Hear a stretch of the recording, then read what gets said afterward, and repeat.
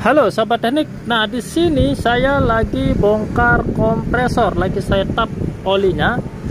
Dan olinya warna hitam pekat, teman-teman. Yang seharusnya ini warna kuning ya atau putih bening. Kenapa bisa berwarna hitam seperti ini? Nah, ini adalah unit outdoornya sudah kita lepas kemarin. Kembali ke pertanyaan yang tadi, kenapa oli kompresor itu berubah jadi hitam dan apakah kita harus ganti oli? Setiap kapan kita harus ganti oli? Nah itu adalah pertanyaan yang memang ini perlu kita jawab ya. Yang pertama yaitu kenapa oli kompresor ini hitam? Salah satu faktor yang pertama penyebabnya itu adalah karena ada kebocoran ya ada kebocoran. Kemarin ini ini saya bongkar karena memang ada pipa yang bocor ya di sebelah sini di sebelah lekukannya ini ini sudah saya ganti yang dengan yang baru. Uh, sorry dengan AC yang lain karena yang punyanya kemarin ini memang udah ada pecah seperti itu ya. Nah itu adalah salah satu faktor kenapa oli kompresor itu hitam. Yang pertama karena adanya kebocoran gas jika ada kebocoran gas lama kelamaan dibiarkan ditambah freon kemudian satu bulannya lagi ditambah freon dua, dua minggunya lagi ditambah freon lagi itu kan berarti ada kebocoran. Terus menerus ditambah freon nah ini yang menyebabkan oli kompresor itu akan berkurang. Karena oli kompresor itu ikut terbawa sama freon ya. Begitu freonnya keluar maka olinya juga akan ikut keluar. Nah ini yang menyebabkan oli kompresor itu jadi berkurang.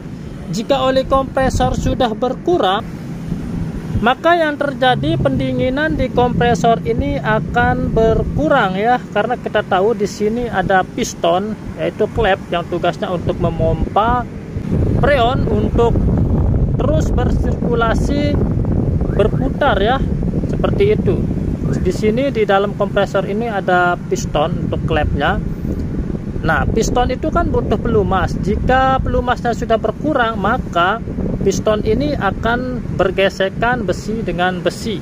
Nah itu adalah salah satu penyebabnya. Lama kelamaan akan menghitam ya besi sama besi bergesekan. Ditambah lagi di, di kompresor ini ada sejenis kumparan ya gulungan jika olinya sudah kurang, maka gulungan ini tidak memiliki pendinginan yang bagus. Secara otomatis, lapisan gulungannya itu bisa jadi terkelupas ya, terkelupas dan dan jatuh ke bagian klep ini atau bercampur dengan olinya seperti itu.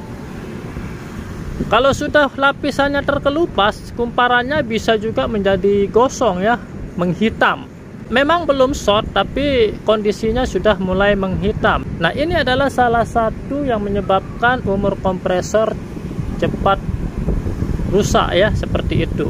Umur kompresor jadi pendek tidak awet.